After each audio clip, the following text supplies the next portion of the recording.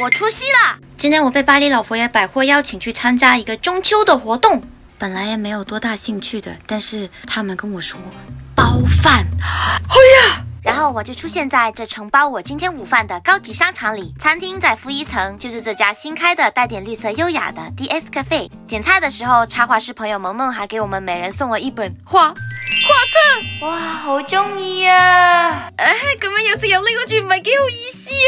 我点了一杯叫 Wake Up 的鲜榨饮品，有姜、胡萝卜什么的，不知道为什么喝出来有种姜汁撞奶的感觉，非常奇妙。至于菜品嘛，前菜我今天吃的是，系食草嘅；主菜同样都系食草嘅，系加咗鸡肉较为复杂啲嘅草咯。总体味道好，原生态同接近大自然，都几好嘅。快乐！大家中秋快乐！吃完饭后，我们就开始瓜分这些珍贵的月饼啦。博主聚餐嘛，出于职业病的原因。系慢慢影，唔影完系唔会食嘅。真真。直到今年第一个月饼啦！早上好。好有意思。吃完月饼后，我们还有好吃的蛋糕。最后像法国人一样，用一杯咖啡结束今天的午餐。下午我们逛了一下这边新开的健康生活馆。对，没看错哦，你看到的行业尖端的瑜伽、冥想课程，各种按摩、护肤疗程、美甲、美容、美发店铺，全部集中在这里了。哇，好我们先参观了这里的新健身室，但最吸引我的是这个女子更衣室。我的妈耶！这个设计，这个珊瑚粉完全长在了我的审美上。呢个鬼鬼真系好骨子啊，好中意啊！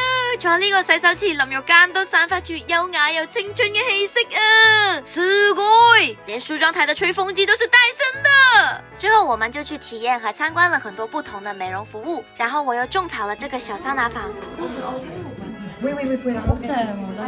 它是在一个房间里面的，是一个可以容纳三个人的私密型桑拿房，里面还配有淋浴间，舒服又精致的感觉，超级适合闺蜜们一起过来玩。然后我们上了四楼，进入了商场的秘密小房间。水水晶？难道今天要上魔法课程吗？原来这是一个法国的纯天然草药品牌，还写咗下啲精油之后，我哋开始好眼瞓，点解呢？系咪泛气攻心呢？原来呢支呢，系助眠精油啊，大佬！在喝了一小杯缓解压力的茶后，我们集齐了八个杯子摆在这里，就可以召唤水晶能量。为了要创造更多更好的视频，我果断选择了创造型水晶，这代表了我放弃爱情、事业、开心。的水晶饼干，我几个黑山好大呀，给的北方赖我。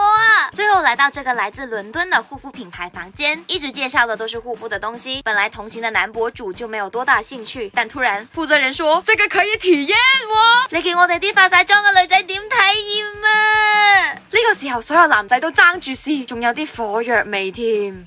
有冇？i e i d i a m o